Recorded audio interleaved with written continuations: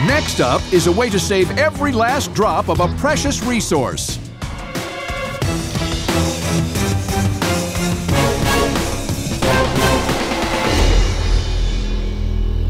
Hi, I'm Nickey Ramsey, and I'm from West Lafayette, Indiana, and I'm here seeking $100,000 for 10% equity in my company.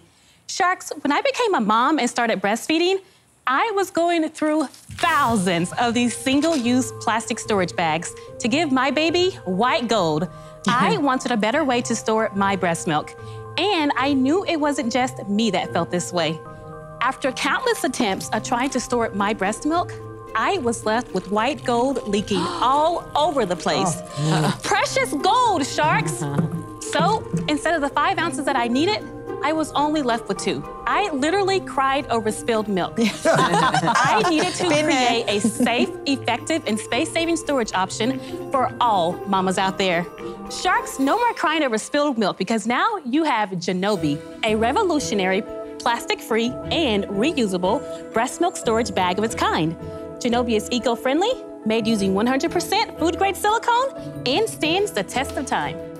Unlike other products out there that have no lines or measurements and can't stand upright, our patent pending product is specifically made with your baby in mind. I'm on a mission to bring Junobie to parents everywhere for the future of our planet and for the future of our children. So if you want your milk fresh, fresh as can be, then you have to try Junobie. Sharks, in front of you are your very own Junobie products to try out and test for yourselves. So do you just slide this off? Yes, So mine's nice and with cold. A, yes, Right. it comes with a, a slider in order to make sure that the breast milk stays secure because silicone is a very soft material and it has to have something a little bit Nickey, hard how to you keep wash it closed. So it's dishwasher safe. Um, it's high heat tolerant. I have to say, this particular slider is very easy to put on, which I didn't expect to be put on, and very secure as it slides into place. It stands on its own. Absolutely. So Well, not um, really.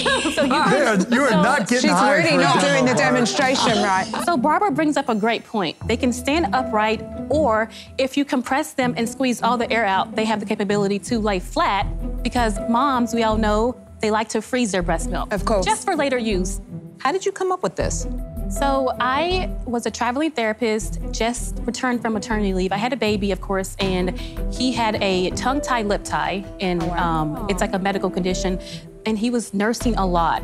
As a result of his nursing, my body thought, okay, I need to produce more milk, and I was going through thousands of these single-use plastic breast milk bags. I went to the marketplace to look for something that was a reusable product, specifically made for the size of breast milk, which typically women store in four to six ounces. And I couldn't find anything, of course, like it because it didn't exist. So I started working on it and I tapped into a need, honestly, that, that I did not know existed. Incredible. Okay, how much? They retail at $34.99 for the four pack, and our two pack retails at $19.99. Okay, and what does it cost you to make the four pack? The four pack landed is at around $7.80, and our two pack landed is around $4. Okay, good margins. I was just going to say, I love this product. I breastfed both of my children, but both of my children were born very early. So the breast milk, like, that hasn't kind of kicked in yet, becomes like gold. But what I want to understand is, like, what your competition is. Who else is doing this? So Junobie launched uh, November 2019. Within six months, unfortunately, we did have some uh, some knockoffs come in the market, and the knockoffs they can't compare to Junobie. One of our competition, they have a bag, and literally you can take the bag and just squeeze it open, and the milk just spills out. Ugh. What are your sales? Our sales for this year to date have been $86,000. Did you light up Amazon yet? So we were on Amazon, but because we have an inventory crisis, I'll, I'll say, we diverted our sales from Amazon to our website so we can retain more of our money. You're not on Amazon now? Not on Amazon. Well, now, but she said something more interesting. You said you didn't have enough inventory to keep Right. up because so, since we've been self-funding ourselves, pretty much with money that comes into the company, um, we would. so put it you needed to have money come in before you could buy. Exactly, What's your yes. lead time for the manufacturing? six weeks. Nickey, I want to hear a little bit more about you. I grew up in a very non-traditional household. As a teenager, I experienced um, homelessness. One night while I was sleeping on this abandoned apartment floor, I thought to myself, there has to be a way out of this generational cycle, this generational curse of poverty. Hmm. And thankfully, I told my school counselor what was going on with me, and she was able to connect me with this homeless shelter, and they let me stay there until I finished my academics, and then I went on to college and graduated.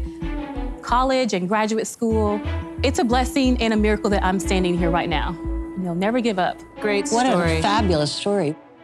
Talk to us a little bit more about the business. You said you'd done 86,000 in sales this year, but what are you projecting for the rest of the year? And I'm assuming the main reason you're here talking to us is because you don't have the money to fund your production. Is that right? Yes. So we are projecting $300,000 in sales by the end of this year. wow. Amazing. Do you have them in stores? We were working with a broker to get us in retail, but when you work with a broker, it can get a little expensive. Yep. And Yep. with the pandemic, we thought that it was better to take the money that we were giving the broker and put it back into our inventory. All right. So when I, when I do a deal on Shark Tank, I like to get my hands dirty in the product.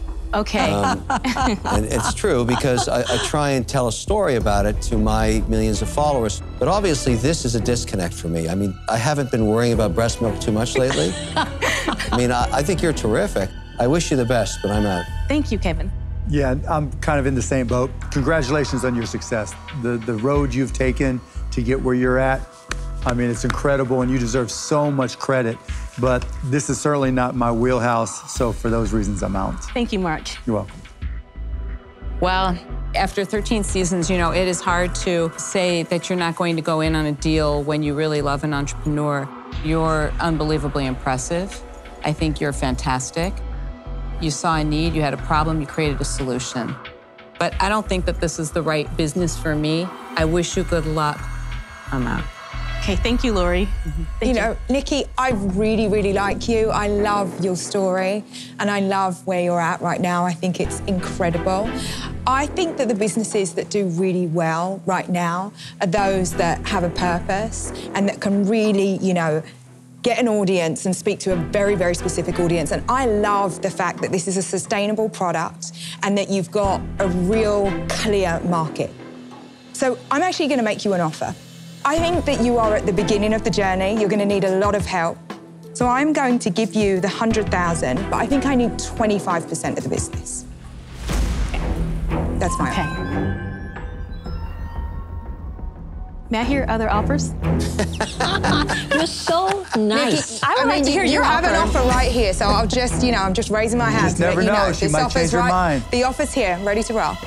That's a great offer. Let me just tell you, I would have given the same offer, 25%. So I wish you luck, I'm. Nickey, Thank what do you want to do? You. Would you do 150,000 for 12%? Whoa. Wow. No. No, Nickey. Whoa. Right, here's Don't the thing. over-negotiate. Everybody here has dropped out. So I'm your only hope right now, right? I'm just going to tell you how it is because what you need right now is so much. I can help you, but I think that my offer is pretty fair.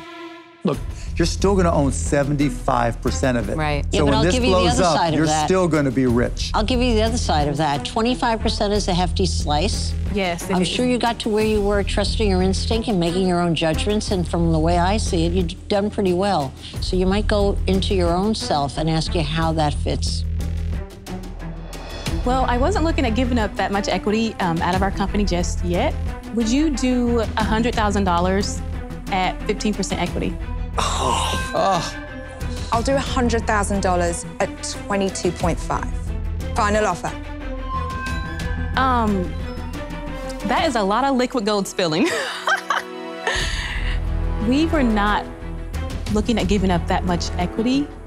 You can definitely walk back out of that door and you can spend the next few years trying to accelerate this business, or you can work with me and do it a hell of a lot quicker. But, you know, it's your choice.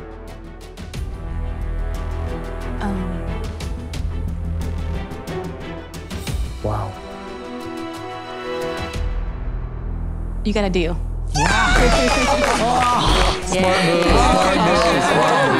Oh my goodness. You know how many mums I know? We're gonna kill this thing! Excited.